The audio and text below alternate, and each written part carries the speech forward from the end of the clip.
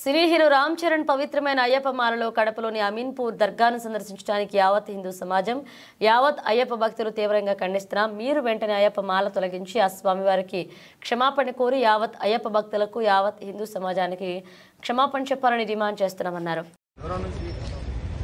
స్వామి శరణం స్వామి గత కొన్ని రోజుల క్రితము పవిత్రమైన అయ్యప్ప మాల ధరించినటువంటి సినీ హీరో రామ్ చరణ్ తేజ గారు నిన్న కడపలోని అమీన్పుర దర్గాలో పవిత్రమైన అయ్యప్ప మాలలో సందర్శించడాన్ని యావత్ హిందూ సమాజము యావత్తు అయ్యప్ప భక్తులం దీన్ని తీవ్రంగా ఖండిస్తున్నాము.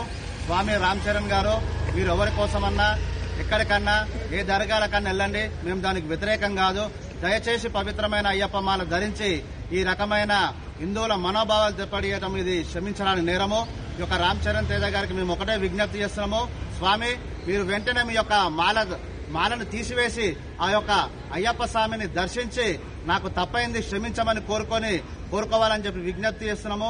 అదేవిధంగా అన్ని ఇష్టం వచ్చినట్టు దర్గాలను సమాధులను సందర్శించి మా యొక్క పద్దెనిమిది పద్దెనిమిది మెట్లు పదినెట్టాంబడి ఎత్తి దాన్ని అపవిత్రం చేయవద్దని చెప్పి తెలియజేస్తూ వెంటనే మీ యొక్క మాలను తొలగించి ఈ యొక్క అయ్యప్ప భక్తులకు హిందూ సమాజానికి క్షమాపణ చెప్పాలని చెప్పి లేకపోతే మాత్రము పెద్ద ఎత్తున తీవ్రంగా ఉద్యమిస్తామని తెలియజే